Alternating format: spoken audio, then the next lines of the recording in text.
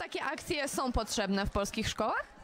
Tak, uważam, że są potrzebne i jest to wspaniała okazja, żeby bezinteresownie pomóc potrzebującym. Okej, a uważasz, że gdyby nie było takiej akcji w szkole, gdybyśmy nie organizowali wampiriady, czy nasi uczniowie w tak licznej e, grupie poszliby sami do Centrum Krwiodawstwa? Wydaje mi się, że część z uczniów byłaby przede wszystkim przerażona tym wszystkim, tym nakuwaniem igieł czy samym pobieraniem i myślę, że raczej sama z siebie by się nie przekonała, jak to wszystko właśnie wygląda, że to nie boli i raczej myślę, że sami z siebie by nie poszli i nie, nie spróbowali tego w jakimś większym y, miejscu, jak na przykład szpitale. Czyli cieszysz się, że dzisiaj oddałeś krew? Rzeczy samej. Który już raz oddajesz krew? Pierwszy.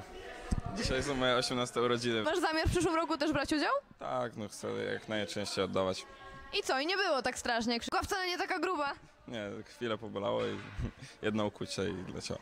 Już raz oddajesz krew? W szkole czy normalnie? A normalnie też się zdarza? Normalnie też się zdarza. A gdzie? E, w Wojskowym Centrum Krwiodawstwa i Krwiolecznictwa Czyli uważasz, że powinniśmy oddawać krew? Wszyscy, co mogą, powinni jak najbardziej oddawać krew. Widzicie, jakich my mamy dobrych uczniów w ekonomiku? Dobrzy ludzie tu są. Bardzo dobrzy.